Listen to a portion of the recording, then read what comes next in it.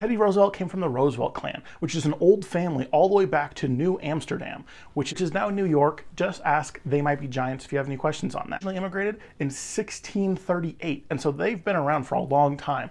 Obviously, Teddy Roosevelt, he came from an aristocratic family. Now, he wasn't the wealthiest, but I have heard some people call him middle class, and the guy went to Harvard. Like, he, he was definitely up there. Teddy Roosevelt was actually born right before the Civil War. He was born and had severe asthma from a young age. He was considered to be quite a weakling and a dandy. And so he actually had to have specialty pillows because normal pillows were too rough for him. Now, there's also a possibility that pillows back then were just kind of terrible. They didn't have memory foam after all. Now, during the Civil War, obviously this was a very contentious time in the United States. His father was a strong Unionist, but his mother was a Confederate. His mother's brothers, in fact, actually fought for the Confederacy. His father, though he supported the Union, did not go off and fight. Now, this was a pretty common thing back then, that if you did have a family, if you were mildly well off, middle class, he paid someone to go fight for him. This was very common of the time period. A pivotal moment in Teddy Roosevelt's life was that he saw Lincoln's burial procession in New York. Something that I'm guessing all aristocratic families have is they grow up with way too many rules, and this was not any different for Teddy Roosevelt. He had to have a very strict code of conduct from a young age, which later in life caused his house to become the big fun party house for all of his kids' friends, and they had endless amounts of animals. As a kid, him and his family traveled around Europe, Egypt, the Holy Land, and he saw a bunch of different things. Another reason why he was not middle class. As a kid, obviously shooting was a big thing for him. He got a gun, however, he couldn't hit a single thing. He couldn't hit the broadside of a barn, as they say. So his father got him some glasses, and it turned out that he had myopia. When he got his, he finally got his glasses, he said it was like opening up the world for the first time, actually being able to see the leaves on the trees. And he didn't know how beautiful the world really was. From then on, he loved shooting sports. He never was a very good shot, he would say, but he did try quite a bit. Because he was so weak, he was sheltered and was homeschooled by private tutors. And from a young age, he always liked going outdoors and collecting samples of animals and bugs and fish and birds and all kinds of random rocks and things like that. And his family dubbed his little bedroom the Roosevelt Museum because there were so many fun things on the walls. However, apparently it did smell quite bad because dead animals and chemicals to preserve dead animals. One day, as a child, he got beaten up by other neighborhood boys, and he told his father this. His father sat him down and said, You need to start being a man. You need to grow up, be strong. This is when Teddy started the strenuous lifestyle, a common thing that he would talk about throughout his life. As part of this, his father hired a professional boxer to teach him how to defend himself. As he grew older, he became stronger and stronger. He went off to Harvard and had just the worst facial hair. Definitely not the first guy to try and grow some facial hair when you probably can't quite get there. Sadly, soon after he went off to college, his father did die, leaving him a small fortune. Something funny that I learned while researching Teddy Roosevelt was that he was actually really terrible with money. No one trusted him with money. His parents, his wives, his friends, his kids, all of them tried to take care of his money for him because he would just want to spend it all over the place, like buying a ranch in, North Dakota and having all the cows die. Spoiler alert, we're not quite there yet. Like and subscribe, follow for more. Comment down below your favorite Teddy Roosevelt fact. While at Harvard and Columbia, he gave off an aristocratic, uppity vibe. When you read some of his writings from that period, you can definitely tell he had that air of preppy dandy that you think of when you think of the Ivy Leagues. What I did really appreciate about Teddy Roosevelt was he loved history. From a young age, he really cared about it.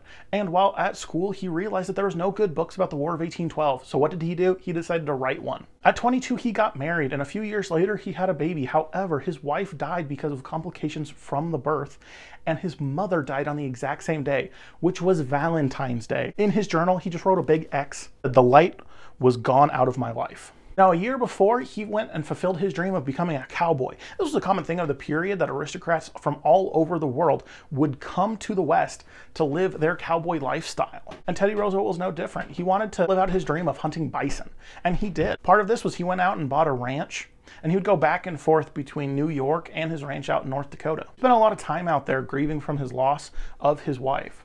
Even though he was considered to be kind of a dandy, everyone respected him because unlike a lot of the other aristocrats, he worked really hard, would sleep on the floor with the rest of the guys, and never complained. The story of when he went out to North Dakota was he brought with him a handcrafted Tiffany knife, which as an Eagle Scout, I can tell you, I've done a lot of things with a lot of pocket knives. I have never seen a Tiffany knife. That's very French.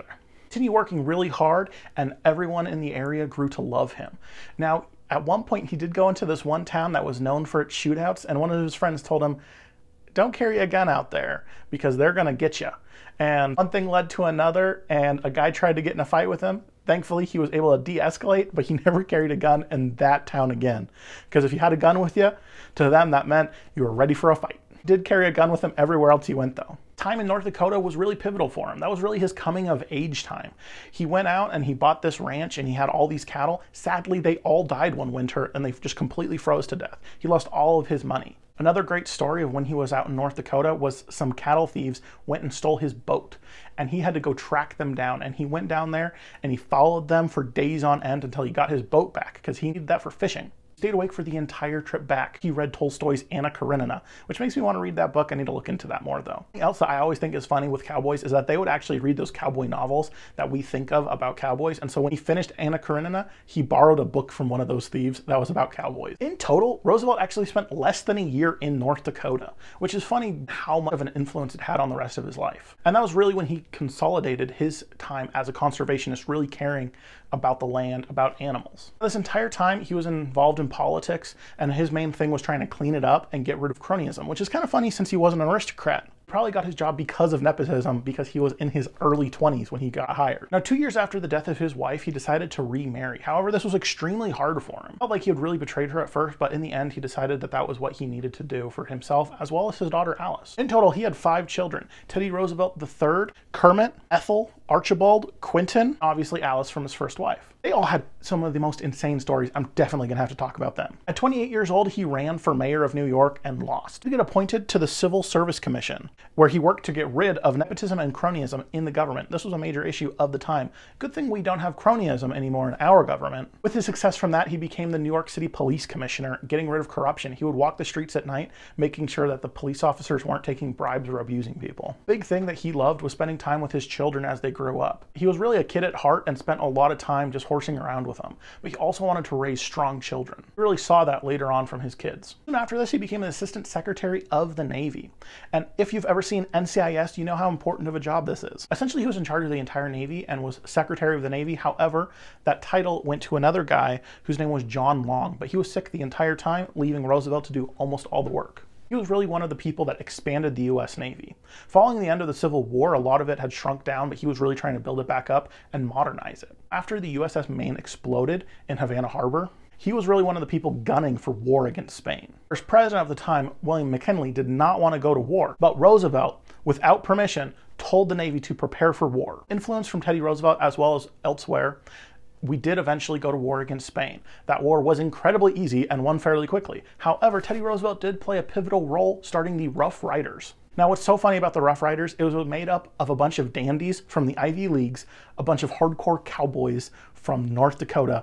There was miners, there was Native American, and decided to form up their own regiment. Just sounds like a really funny buddy movie. If anyone ever wants to make that movie, let me know. He went down to Cuba with his friends, the Rough Riders, and they fought in the battles of San Juan Hill and Kettle Hill. For fairly minor battles, however, he did lead the charge up those hills, causing victory. This really helped him become well known. He also brought some of his friends who were journalists with him at the time. He ended up getting nominated for the Medal of Honor, however, the Army blocked it because they felt like he was grabbing too many headlines. This would be later corrected in 2001, making him and his son, Teddy Roosevelt III, one of the only father-son duos to receive the Medal of Honor the other ones being Douglas and Arthur MacArthur. But we're not there yet. After this, he became super famous and he got elected as governor of New York. He made many reforms preventing socialists and anarchists from taking over the government, which was a major issue at the time because with all of this turmoil and the Industrial Revolution in full force, small reforms needed to be made to keep the structure of democracy afloat. He was one of the main progressives of that era. However, he doesn't have the taint of progressivism like Woodrow Wilson has, because Teddy Roosevelt believed in racial equality, at least compared to the time period, versus Woodrow Wilson, who resegregated the government. Once again, we're not there yet. Bully, follow for more! The Republican Party was afraid that he was going to try and run for president because he was so popular, so they decided to try and give him the kill shot of politics, making him the vice president. Because as we know, once people become vice president, they kind of just disappear, the most current circumstances excluded often considered to be an imperialist, but he also had quite a lot of anti imperialist tendencies. And so it is really interesting all of the different ways in which Teddy Roosevelt was a contradiction. Now, soon after he was elected as vice president, William McKinley was shot by an anarchist, Teddy Roosevelt became president. I feel like this video is getting a little long. I'm going to make a part two talking all about Teddy Roosevelt as president, as well as his time after office, his attempt at being reelected, his discoveries of a river in the Amazon, and much more. He did incredible things after his life, as well as all of his children were awesome. Hit that subscription button, like, and comment down below your favorite part of the Teddy Roosevelt story.